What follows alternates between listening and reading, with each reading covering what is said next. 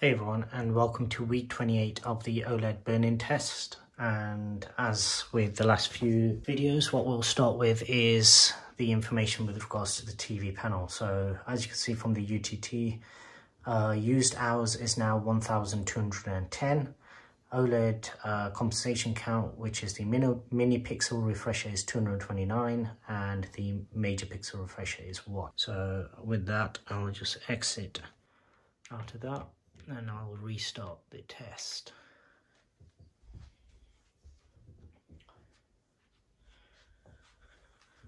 Uh, usage for the past week has been, uh, let me just get that into focus, sorry.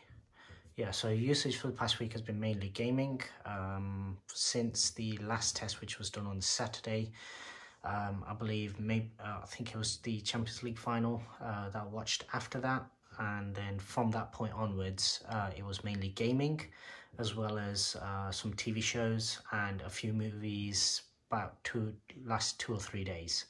Uh, so a movie each night.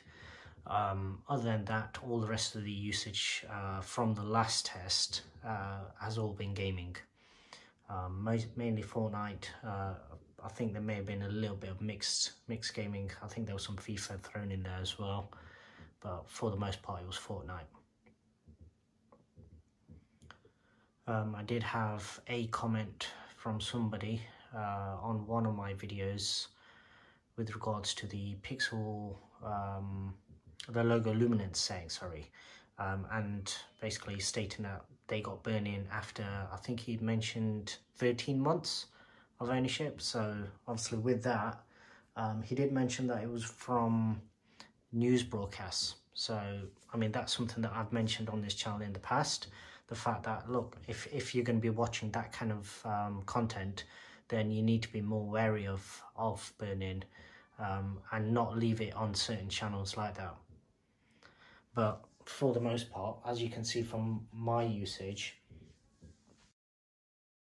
mainly gaming, a lot of static content, nothing where yeah so nothing where you can get really really vivid colors or anything like that. Um, gaming tends to be you're always moving about so even with the static content you've still got um, they're more of an overlay so you've still got moving content in the background.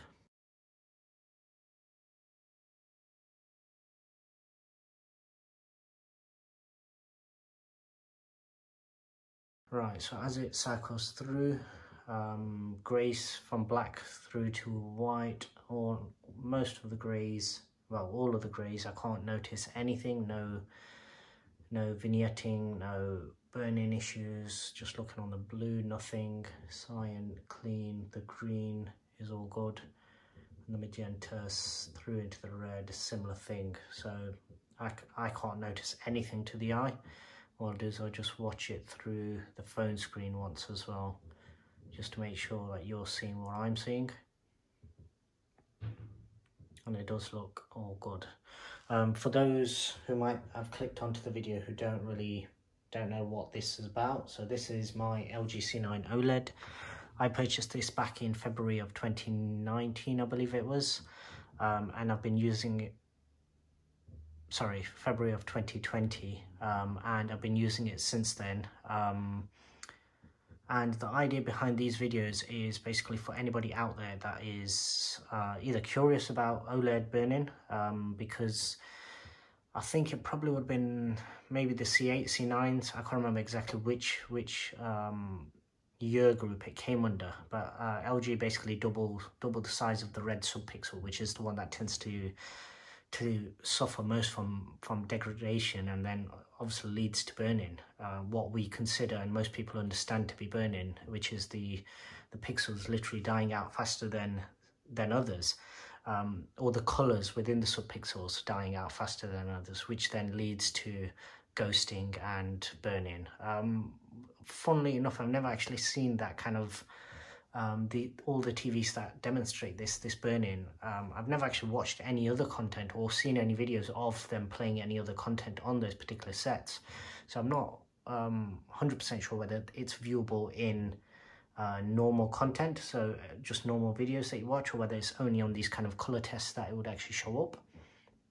But either way, obviously those particular sets, there are there are examples out there on YouTube. Um, if you search, I'm sure you'll find plenty of them um, showing burn-in on OLED panels. And the idea behind these videos was literally just to show my journey in terms of um, what I'm using it for, the hours I'm using it for. So obviously now at the start of the videos, I'm putting up the hours to show just to make sure that nobody can come back at a later date and claim that, oh no, this is literally just back-to-back -back videos that he's recorded.